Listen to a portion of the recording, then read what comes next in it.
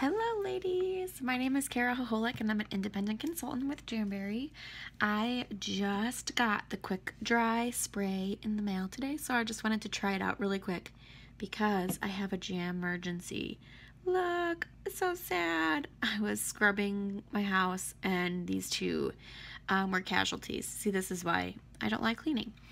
So anyway, I thought, well, what a perfect opportunity to try, um, to put some lacquer on and try the quick dry spray. So I'm going to do that for you really quick um, and show you how it works. Now this is the first time I'm using it, so I'm kind of curious to see how it works. I already think that our lacquer dries super fast anyway, so I'm just kind of like, how much more faster can it get? Um, so I'm just going to quick put this on. Um, please don't judge my painting skills with my left hand because it's seriously horrible. Look, I'm getting it all over my skin. Oh well. This is just a tutorial anyway. Um, okay, so quick. Ah, oh, I got it on my skin. Jamberry consultant fail. Okay, here they are, wet. Um, and I'm just going to spritz this on. The directions say just one little spritz right after applying. So, boop, boop, and we wait. Um, wow, this stuff smells really good. Do you know what it smells like? Our um, cuticle oil. It smells just like that, which is a really great smell. I don't know if you've tried it at all, but it smells really nice.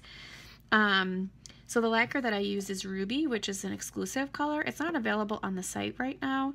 It was in um, our Mother's Day set last year, and also it made an appearance in one of our holiday sets. It's my favorite red, which is why I used it to tease you all.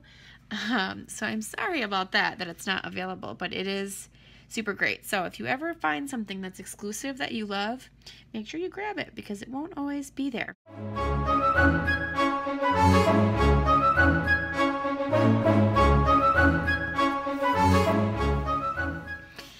Okay, so um, that was pretty much less than a minute that it took to totally dry.